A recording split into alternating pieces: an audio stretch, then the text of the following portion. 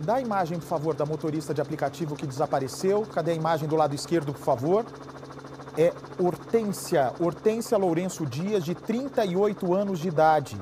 Uma professora talentosa de matemática, também de Libras. Trabalhava, é como sempre, né? O professor tem que fazer bico para ganhar um dinheiro digno aqui nesse país. É absurdo, tem que remunerar melhor os nossos professores e aí ela desapareceu e foi encontrada morta no interior de São Paulo. Do lado esquerdo, a reportagem, por favor. As marcas de pneu chamam a atenção. A principal hipótese é que a morte tenha ocorrido em outro local e o corpo tenha sido desovado às margens de uma estrada de terra. Os rastros do veículo passam a impressão de que a vítima possa ter sido arremessada do banco traseiro ou do porta-malas. A polícia militar foi para o local após uma denúncia anônima.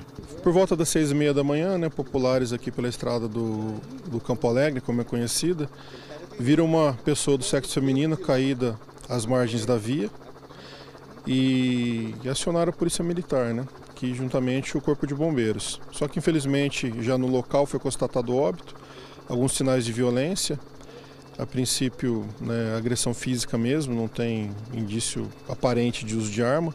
Pouco tempo depois que o corpo foi localizado, familiares de uma mulher que trabalhava como motorista por aplicativo e estava desaparecida desde as 10 horas do dia anterior procuraram a Polícia Civil de Olímpia para registrar um boletim de ocorrência. Imagens do corpo foram mostrados e os familiares fizeram reconhecimento informal da vítima. Trata-se de Hortência Lourenço Dias, de 38 anos. Segundo a família, a mulher trabalhava como motorista há pouco mais de um ano e preferia fazer corridas noturnas, porque ganhava mais dinheiro com isso. Mas esta rotina de trabalho preocupava a família, principalmente o pai, que prefere não mostrar o rosto. Sempre falava, filho, trabalha de dia, você vê quanto assalto tem à noite, a noite é terrível, né? Ela, lá, paizinho, mas é, ela me chama de paizinho. Paizinho à noite é melhor, as corridas mais sossegado né, e tal. Só que infelizmente pegou um, um pessoal aí né?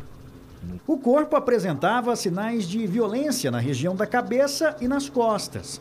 A carteira com documentos, o celular e o carro da vítima foram levados.